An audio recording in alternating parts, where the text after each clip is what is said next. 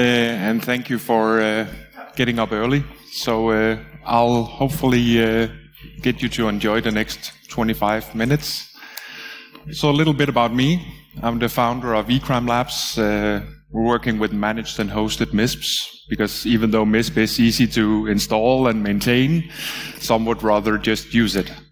Uh, I also work in incident response and threat intelligence, so that's also some of the key elements from that that uh, started this project uh, a few years ago, but uh, now it's ready for the initial release. I've been a heavy user of MISP since 15. I think I found some of the first events. So, uh, yeah, a lot of things have happened uh, over these years.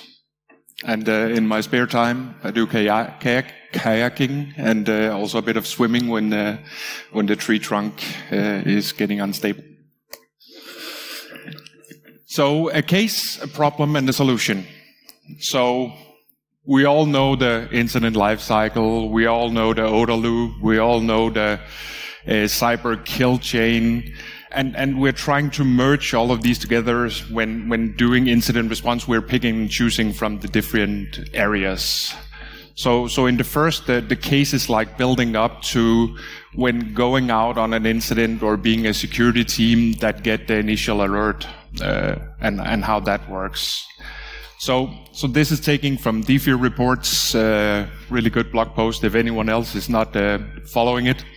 So, what uh, what this is doing or what this is showing is that when you get the initial alert, it's never in the beginning of whatever has occurred in your environment, or typically not. So. Uh, this alert, Cobalt Strike triggers in the antivirus. It triggers an alert into the SOC team, CDC team. Uh, maybe the incident response team get called in to look uh, deeper into this. And then we start doing a lot of work on uh, trying to figure out what is going on. Uh, we also saw some of the CTI talks yesterday about the chaos phase. So when the firefighters uh, roll out, you don't really know what is going on. You only have the alerts, the triggers that uh, that went on, but you start to utilize your your systems, your SIEM solution, and hunt for it. And during that, you will learn more about what is going on. You might get some indicators, some checksums, uh, some IP addresses, some URLs, uh, some domains that can be utilized in, in this incident and during the analysis. So this is where we start to, to utilize the, the different models of it, and, and especially when, when doing the OODA loop, uh, it is about trying to decide based upon the facts that you have collected. So you need to try to identify what is it that you want to do. Do we want to stay passive in our way of interacting with this incident? Do we want to just monitor it? Or if it's a ransomware or something that is starting to get towards your crown jewels, okay, you want to, uh, to start being more active, deny the IP addresses, block DNS, uh, put some checksums into your AVs, EDR tools, XDR, uh, all of these things. So, so you need to make the decision and you need to act upon it. And that is like a, we're going to say a weight that will go on through on every incident.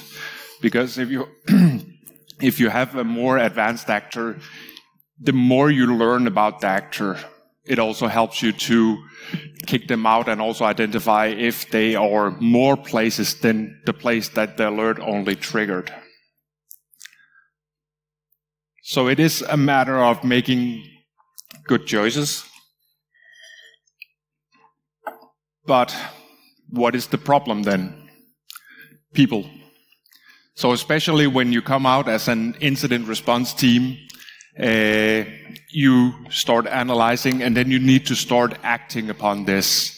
As long as it's in the passive part, you typically can interact with the security team on the SIEM solutions because you, you don't really do anything into the environment. As soon as you start to need to be able to block something, then it's actually, in some cases, a bit harder. The bigger the organizations, the harder it actually becomes sometimes. So think about this.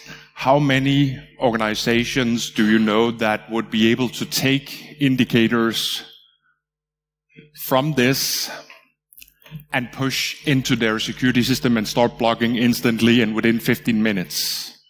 And we need it across all the different, say, environments. So we need it implemented in the DNS servers, the XDR, the EDR, the firewalls, anything else that, that might be out there, VPNs. So, so starting to, uh, to block things across at a, at a certain speed. And what in the event, because that's what happens, we do make mistakes. If you add an IP address or something that shouldn't actually have been blocked, how do you get it out again? So in the typical corporate large environments, we are sometimes battling a bit with change management. I like change management, but sometimes change management doesn't like us because we want to do something fast. Again, how do you make a risk assessment? What systems can this affect if you block an IP address? Uh, all of these things. So the, the change process can sometimes be a hassle. I've still meeting today organizations where change management think that AV updates, signature updates should be controlled by changes. That's not really how, how it works. And, and we need to help, uh, we're going to say, organizations to better understand that in some cases we just need to move along so we don't, don't just run around like uh, headless chickens uh, here when things are really going bad. So again, people, people everywhere. Uh, how how is it that we can actually work with this? Because we have management, we have uh, the security department, we have the technology, IT departments. We might have an outsourcing partner. We might even have a bunch of outsourcing partners who's responsible for what areas. Uh, and we're seeing much more of this with yeah, how the world is today. We also have cloud services and yeah, things are moving around. So there is a lot of people involved typically. And, and how can we work towards the part of, of actually removing the, the people for and, and gaining better uh, understanding for the, the incident responders or the security team in these kind of situations when you start to work upon it. So I don't know if anyone has experienced hands up? How many have seen similar issues with an incident where change management or someone is starting to maybe uh, give some issues? I can see some hands some have experienced it yeah. And then again the, the issue is also if you have a, a threat actor of a more advanced part time is, is essential because it is a check game or chess game. So from the point when you make your move they will do a counter move. So if you start to block, you better block as fast as possible across your entire environment estate uh, within a short period, because else they will potentially update their code to new servers that you haven't seen.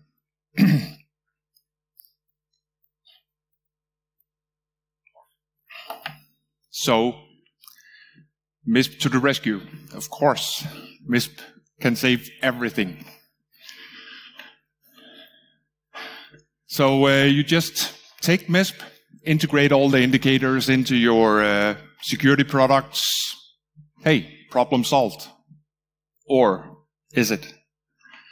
So again, uh, I really like MISP. I like a lot of the projects that is around it. The MISP has a comprehensive API for doing things like that, but some of the, we're going to say, security issues from my perspective when getting out into an organization is that if you use the API key in, and integrate into security products, maybe at a customer or somewhere else, that key gives full access to also the context of the data. So you can make it a, a write key, so you can read and write, but you can also make it a read. But the issue is you can still see everything that is in that MISP within that organization's uh, scope of it. The second part is that if you start to implement this uh, at a larger scale, at let's say a thousand firewalls that each pull this data, if you don't have it centralized in some way, the MISP will start to get resource issues because a lot of queries towards it that will create a bottleneck.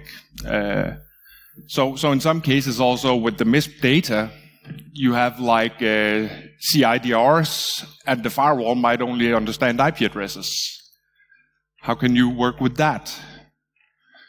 And then, of course, in the event that the MISP is not publicly available or accessible by uh, by all these systems that needs it, because again, we're working on a global scale today, everywhere. And and again, we are security people. We don't like our MISP instance to be like available to everyone. So we like to scope it in a bit. So, so what can we do about this and still utilize the, the, the, the power of the MISP? So for this, uh, Cratos is, uh, is being released today.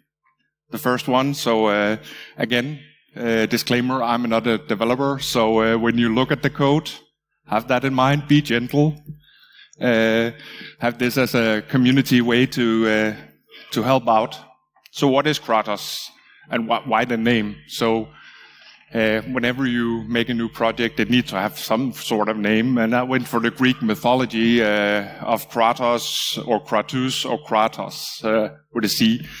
So, an ancient Greek personification uh, of brute strength uh, and power. Uh, kind of a demigod, but still MISP is the primary god. So, in MISP we trust. So, what I did was that I utilized the FastAPI uh, framework uh, to build the REST API. Uh, I used Python and Memcache as the, the we're going to say the backend for allowing to to cache data. Uh, it also assists in the more going to say easy integrations into your security components because we still have a lot of security components out there that can only take a URL as input, if it even can that, if it doesn't need it to be pushed.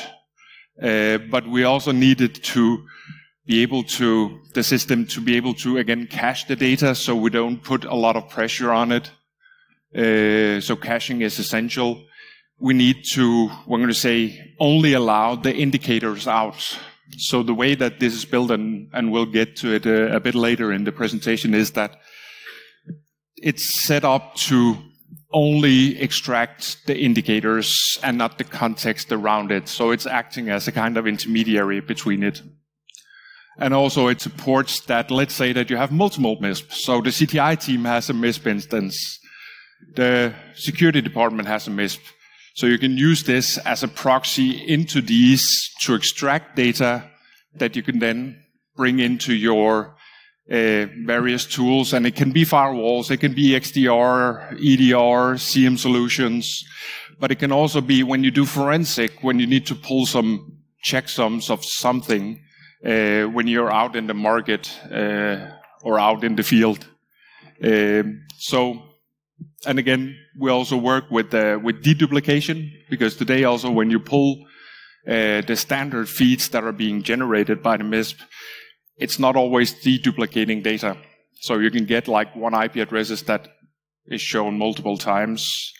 And we also, again, I think we saw it yesterday on the, the ISAC talk uh, about, we're going to say sanity check of the data. So we also try to do some regular expressions on the data to try to ensure that when there is a field called IP, it actually contains something that looks like an IP address. So the infrastructure that can be set up with this can be as simple or advanced as you want it to be. So you can set it up simple where you actually install it on the MISP instance, or you can create a server somewhere that has access to, to your MISP instance. And it need to have a, a Memcache, of course, also installed. Not public to the internet, of course. Uh, we all seen what Memcache can do uh, regarding DDoS. So the more complex parts is setting up with the load balancers, uh, having multiple instances. This could potentially in the future be Dockerized or something that it can be spun up or spun down as it's being used. And the same thing with the, the Memcache backend. Uh, and then it can actually interact with the with the different MISP instances that uh, that could be in uh, in play, or whatever the the need would be. So for the security model and the structure of it, uh, it consists of we're going to say two configurations. The main one is for the the core API, means that it also has a whitelist. Let's say that you need some monitoring tools that can actually query the, the API to see if, if it needs to be accessed. And then for each site, a site equals one MISP instance. It can also have a, a whitelist of what IP addresses is allowed to access this. And this is again where if you want the entire internet to, to access it, it's just zero, uh, zero, zero, zero, zero slash zero. Uh, but else you can you can model it as as you want. And what you do is that you create a kind of a config or an encrypted string that is being utilized to this. In the first versions, I had everything in configuration file, but the issue was how do you update this and if it's at scale. So I tried to move it into uh, into the actual, when you say security token. So it consists of like the address of the, the MISP instance, the MISP API key. Of course, this is where you also need to use the, or it's recommended to use the MISP security model. Uh, we also heard Andreas on that yesterday. That is good to IP restrict that one. So you can at least say that this, uh, we're going to say, uh, MISP uh, API key is only allowed to be accessed by the Cratos uh, system. And then there are various uh, other things where the tagging, it's not ECG, but here we have tag eCrime Labs. That is the part where it starts to, we're going to say, map into the tagging uh, setup of, uh, of MISP. So in regards to the, the caching part, we have here the first request where I uh, query let's see, one year of data, and it gives me a response in, in 2.3 seconds. This was just one query. But when I queried again, because I set a caching timeout on 30 seconds, and, and this again can be modulated for every user. You can build multiple, we're going to say, feeds based on your needs uh, and on the caching part. So then you're down to uh, around 849 milliseconds. But you're not querying the backend again. You don't, don't query the MISP instance. And that is the, the essential part of it. So the implemented requests or the implemented uh, parts currently are uh, a form to generate the token. That can also be do, done uh, programmatically. You have the documentation, you have a check page where you can just see, can it actually connect to that MISP instance? Uh, then you have statistics. Everyone loves some information on how many indicators is in this MISP instance. You have warning lists because in, in some cases, again, you don't want to update your, your data multiple places. So in this case, if you have your warning lists uh, let's say your own IP addresses or whatever within MISP, you can actually extract that as a feed itself to other systems to say exclude these because these are on a on a good list. Uh, or this is related to uh, to Google, or this is related to AWS, or whatever it is. And then we have, of course, a, a cleanup function in case that something is cached that shouldn't be cached. Uh, and then the, the actual feeds that is built up like a REST API where you choose uh, a feed type, a data type, the age of the data, and that consists of how, we're going to say, the timestamp on either the attribute itself or the, the event, whatever is updated or has the most recent uh, part of it. And then the output, do you want it in JSON, XML, text, in the future, we want to support more uh, formats, and then of course the, the caching part. So, so how is the logic working? So we have different feeds, and these again is based on tags.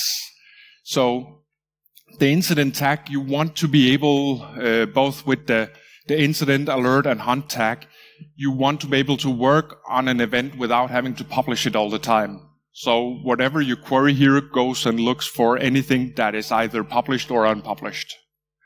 When you start to use block, okay, now you've chosen the statement of actually blocking.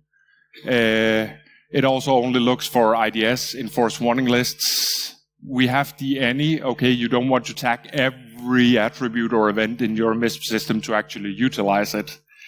So here you can just pull the data. It still abide by the warning list, the IDS flags, and that it needs to be published. And then you have the 42 feet, which say that uh, it doesn't look at the, the, warning list, so it extract all the, the indicators. And we try to be as, as modular as possible to, to build it up. Again, there is a mapping on the, the different feeds where we have uh, IPv4 extended that is pulling like IP addresses, CDRs, uh, CIDRs, and with CIDRs, it's actually expanding those to single IP addresses, again, based on that the, the system understands it. So, simple query, uh, the setup does support that you, if you want to move the, the authentication token uh, away from the URL there you can put it in as a token field in itself. So again, the capabilities, when you make your choices, you can actually build your playbook. And when you're ready, you can publish it. And if it's integrated into your entire estate, the 15 minutes, 20 minutes, 30 minutes time frame should actually implement this automatically. And that is the, the key point of it. Future work, uh, improved documentation. Again, is just being released. It needs a lot of documentation. I focused more on the, the code than, uh, than the documentation like usual, but uh, optimized code, hopefully with some help from, from you, the community. Add features to minimize data, so, so you might even uh, minimize even more what is available of the data. Uh, also add more complex output. There are some vendors that need some specific output and continuous improvement, and we should hopefully go into a stable release within a month or so. For uh, Hack.lu, if anyone wants to try this, let the demo gods be with me. Uh, there is actually a, a public, uh, we're going to say, uh, setup of this where you can try to use the API. Uh, the API key there or the token is valid uh, until end of Hack.lu. So, so pull it out, uh, try it, uh, give some feedback. Uh, again, be gentle. And of course, here is the GitHub repo where it's also being being released. Any questions?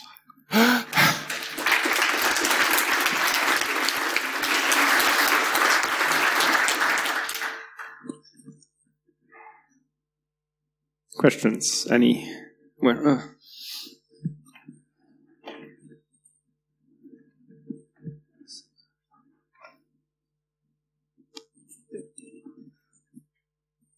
Hello, for, uh, thanks for your presentation. It looks like a really interesting tool. Uh, as uh, one of the Suricata developer, we would we really like to ingest base64 of a domain of string. Do you have an option to encode in base64 before downloading the feed? So, so uh, basic, base64 encoded before it's being delivered. Yes. That that should be quite easy to implement. It's again uh, similar to with the MISP uh, project or, or meeting features, the use cases, uh, it should definitely be uh, be possible to to give.